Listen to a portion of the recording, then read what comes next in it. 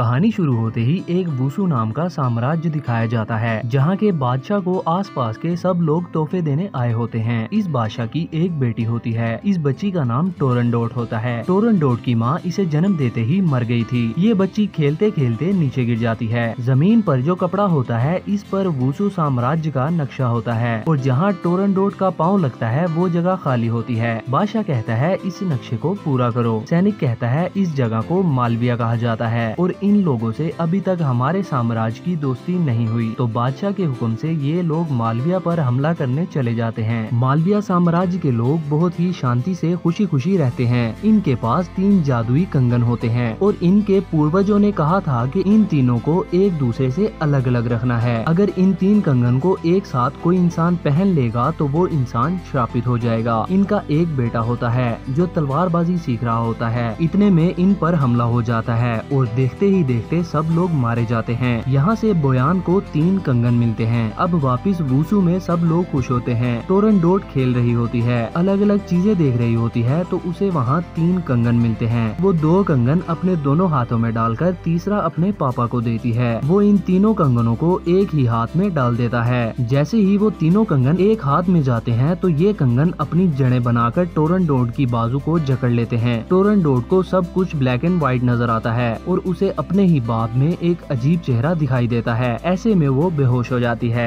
दूसरी तरफ़ मास्टर जो मालविया के राजकुमार को लेकर दो साल बाद अपने घर आता है। तो उसे पता चलता है कि उसकी बीवी गुजर गई है और अब सिर्फ़ इसकी बेटी लुयर ही इसका सब कुछ है। यहाँ पुजारी बादशाह को बताता है, ये कंगन अब सिर्फ़ टोरन डोट का प्रेमी ही उतार सकता है। वो भी जब ये पंद्रह साल की हो जाएगी। हर कंगन में एक पहेली है और उस पहेली का जवाब सच सच देकर ही ये कंगन उतर सकते हैं। जिसका जवाब गलत हुआ, उसकी जान भी जा सकती है। टोरन डोट के जन्मदिन पर आतिशबाजी की जाती है। लेकिन टोरन डोट को सब कुछ ब्लैक एंड व्हाइट नज़र आता है। और ये आतिशबाजी नीचे से नील और लुयर देख रहे होते हैं। अब काफ़ी सालों बाद का वक्त दिखाया जाता है, जहाँ नील बड़ा हो जाता है और इसे आतिशबाजी बनाने का बहुत शौक होता है। लुयर और नील चुपके से उस जगह पहुँच जाते हैं, जहाँ आतिशबाजी तैयार हो रही होती है। वहाँ जाकर ये देखते हैं, बहुत ही कमाल की आतिशबाजी होती है। फिर इन्हें सैनिक देख लेते हैं तो ये लोग भागते हैं। भागते भागते इन्हें एक रास्ता मिलता है। ये दोनों उस रास्ते की तरफ़ चल देते हैं। इधर सेनापति बोयान राजकुमारी को तलवारबाजी सिखाने आता है।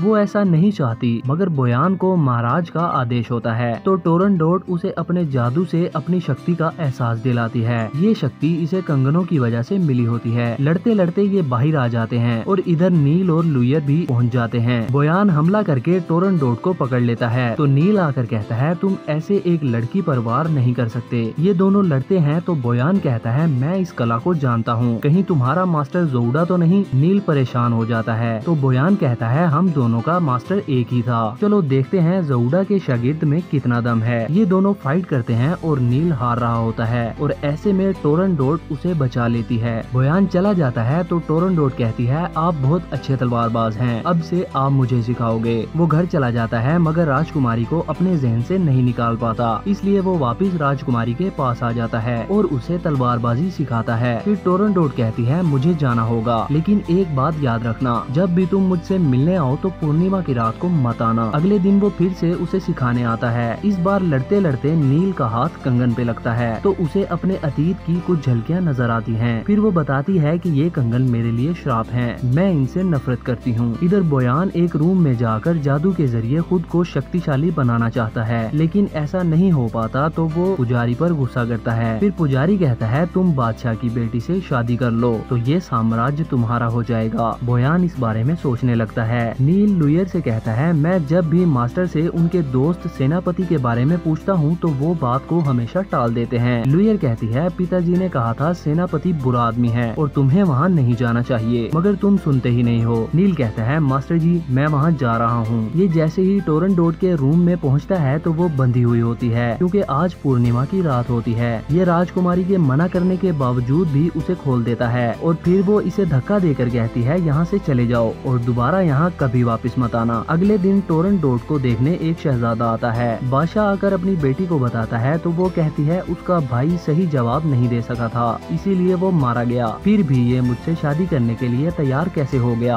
बादशाह कहता है, मुझे यकीन है, ये तुम्हारी पहेलियों का सही सही जवाब दे देगा। नील भी भी महल का रक्षक बन जाता है और इस शहजादे के साथ साथ आता है। लुयर और नील बाज़ार में आते हैं। लुयर को नील बहुत पसंद होता है और लुयर को चोरी करने की आदत होती है। तो वो अपने दोस्त के साथ मिलकर इस शहजादे से चोरी करते हैं। ये दोनों इन्हें बहुत दौड़ाते हैं और फिर शहजादे के ऊपर ये बाँस का बड़ा सा जाल गिरने लगता है कि नील आकर उसे बचा लेता है और फिर वो लुयर से कहकर सारा सामान वापिस शहजादे को दे देता है। शहजादा इम्प्रेस होकर इसे अपना भाई बना लेता है। फिर ये राजकुमार टोरन डोट से मिलने जाता है और उसे अपना चेहरा दिखाने का कहता है। जैसे ही ये चेहरा देखने के लिए इसके करीब आता है तो ये चाकू निकाल कर टोरन डोट को मारने लगता है। असल में ये अपने भाई की मौत का बदला लेने आया होता है। लेकिन टोरन डोट अपने जादू की शक्ति का इस्तेमाल करके इसके वार से बच जाती है और फिर इसे बाँध कर बादशाह के सामने पेश किया जाता है। यहाँ बादशाह कहता है, मैं तुम्हें एक मौका देता हूँ। अगर तुमने तीन सवालों का सही जवाब दे दिया तो मैं तुम्हें बख्श दूँगा। वो कहता है, मुझे मारना है तो मार दो।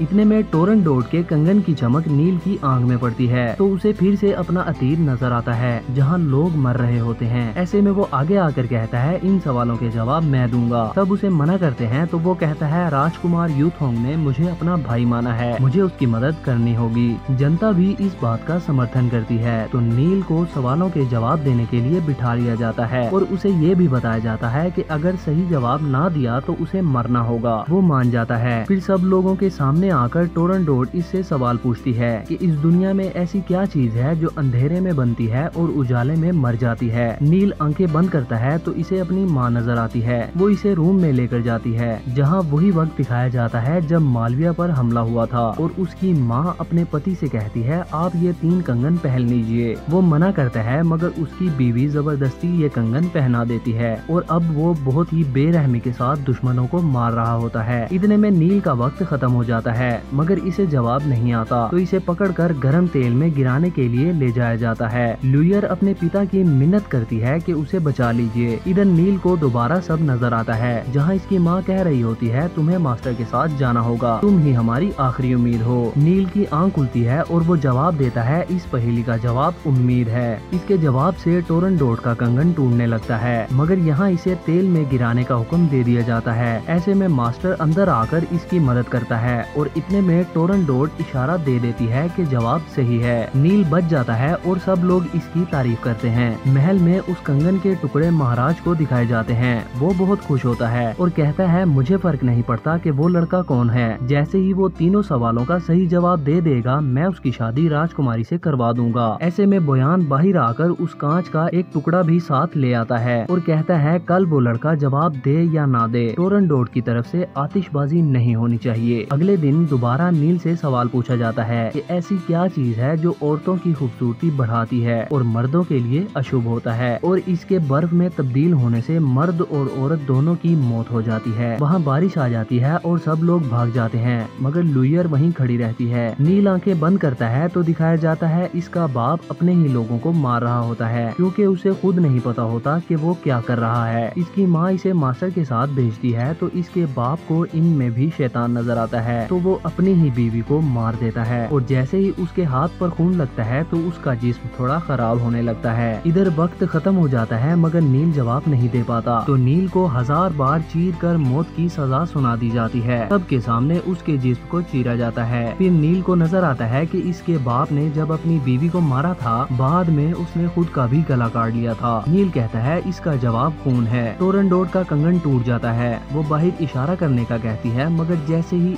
आतिशबाजी चलाई जाती है तो वहाँ कुछ लोग आकर इसे नहीं चलने देते। इधर बोयान कहता है, जवाब गलत है। मार डालो इसे। वो मारने लगते हैं तो मास्टर कहता है, बारिश की वजह से आतिशबाजी नहीं हो पाई होगी। इन दोनों की फाइट होती है, और उधर राजकुमारी सब लोगों को मार गिराती है। यहाँ सब लोग फाइट कर रहे होते हैं। ल्यूयर भी मैदान में आकर सबको मारती है। मगर बोयान जब मास्टर से मुकाबला नहीं कर पाता तो वो लुयर को पकड़ लेता है। नील कहता है, उसे जाने दो। बेशक मुझे मार दो। बोयान जैसे ही अपनी तलवार नील की तरफ़ गिराता है तो पीछे से टोरन डोट आकर तलवार तोड़ देती है और बताती है कि इसका जवाब सही है। घर आकर मास्टर इसके जख्म पर मरहम लगाता है। तो नील कहता है, मेरा असली नाम कलाफ है। आपने मुझसे सब कुछ क्यों छुपाया? वो कहता है मतलब तुम्हें सब याद आ गया है। उधर बयान दूसरे कंगन का टुकड़ा भी अपने पास जमा करके अपने सैनिक से कहता है, उस लड़के को मार दो। लुयर और नील ये जगह छोड़कर जा रहे होते हैं। तो एक तरफ़ से सैनिक इसे मारने आ रहे होते हैं और दूसरी तरफ़ से टोरन डोट टहलती यहाँ पहुँच इन सैनिकों से नील को बचा लेती है। वो कहती है, तुम कहाँ जा रहे हो? तुमने अपना वादा तोड़ दिया। नील कहता है, वादे अपनों से होते हैं, दुश्मनों से नहीं। फिर वो कहती है, मैं तुम्हें ऐसे जाने नहीं दूँगी। मेरी पहेली सुलझाओ। वो नहीं मानता तो टोरन डोड उससे लड़ाई करती है। फिर वो पहेली पूछ कर कहती है, मेरी मदद करो। प्लीज़ मुझे जवाब दे दो। वो जवाब नहीं देता और खुद आगे होकर अपने सीने में तलवार घुसा लेता है। लेकिन फिर वो एक लफ्ज बोलता है और वही लफ्ज पहेली का जवाब होता है। फिर वो बेहोश हो जाता है और टोरन डोड का कंगन टूटने लगता है। कंगन टूटते ही वो भी बेहोश हो जाती है। होश में आते ही उसे सारे रंग दिखाई देते हैं। इधर नील का दिल राइट साइड पर होता है और इसी वजह से वो बच जाता है। लुयर बहुत खुश हो जाती है। फिर टोरन डोड इससे मिलने आती है तो बादशाह सबको बाहर भेज देता है। वो नील को बताती है कि कल हमारी शादी है। नील कहता है, मैंने तुम्हारी पहेली का जवाब दिया। अब तुम मेरी एक पहेली का जवाब दो। मुझे सिर्फ़ ये जानना है कि मैं कौन हूँ और मेरा असली नाम क्या है? अगर तुम इसका सही जवाब दे पाई तभी मैं तुमसे शादी करूँगा। टोरन डोड वादा करती है कि वो इसकी पहेली का जवाब ज़रूर लेकर आएगी। इधर बोयान उन तीनों कांच के टुकड़ों से बहुत ही ज़्यादा शक्तिशाली बन जाता है। अब इसे सिवाय इन कंगनों के मालिक के कोई भी नहीं मार सकता। और ऐसे में बोयान इस पुजारी को भी मार देता है। बोयान यहाँ मास्टर को मारने आता है और ये पुजारी किसी तरीके से आतिशबाजी के मास्टर के पास पहुँच जाता है। बोयान नील को पकड़कर मारने लगता है तो वहाँ टोरन डोट आ जाती है। बोयान कहता है, ये हमारे दुश्मनों का बेटा है। राजकुमारी कहती है, मैं पिताजी से बात करूँगी, मगर बोयान इसकी एक ना सुनते हुए नील को मारने लगता है। ऐसे में टोरन डोट कहती है, तुम जो कहोगे मैं करूँगी, तुम बस इसे जाने दो। वो कहता है, तुम्हें मुझसे शादी करनी होगी। टोरन डोट मान जाती है और नील को अगले दिन महाराज के सामने पेश किया जाता है। यहाँ बोयान इसे दुश्मन बनाकर मारने की तैयारी करता है कि वहाँ टोरन डोट आकर कहती है, तुमने मालविया पर बिना समझौते का प्रस्ताव रखे हमला किया। हमारे पास इस बात का गवाह मौजूद है। पुजारी आकर बताता है कि बयान ने वहाँ पहुंचकर बिना समझौता किए डायरेक्ट मालविया पर हमला किया था, वरना वो लोग अमन पसंद थे। इसकी वजह से वो मासूम लोग मारे गए। बोयान सब के सामने पुजारी को मार देता है और बादशाह के साथ गद्दारी पर उतर आता है। बोयान के साथ पूरी फौज होती है और महाराजा के साथ ये चंद लोग। बोयान यहाँ से धमाके का सामान निकालता है और उस पर आग का तीर चला देता है। लेकिन धमाके की बजाय वहाँ आतिशबाजी होती है, जो सब सैनिकों पर भारी पड़ती है।